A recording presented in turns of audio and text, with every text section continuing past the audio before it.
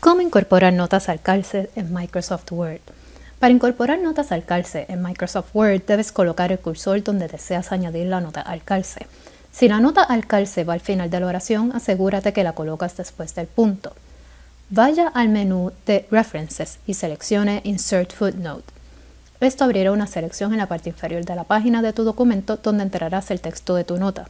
Según vayas añadiendo notas al calce a tu documento, Word las colocará en el orden correspondiente y correcto automáticamente. Si necesitas borrar una nota al calce, tienes que hacerlo desde el cuerpo de tu documento, no desde la nota. Para borrar la nota al calce, solo ve donde se encuentra la nota en el texto y presiona el botón de Delete en el teclado dos veces. Esto asombrará el número de superíndice en la oración y lo borrará del cuerpo de tu documento, al igual que del calce de la página. Si necesitas añadir o borrar notas al calce de tu documento, no tienes que preocuparte por reformatear los números.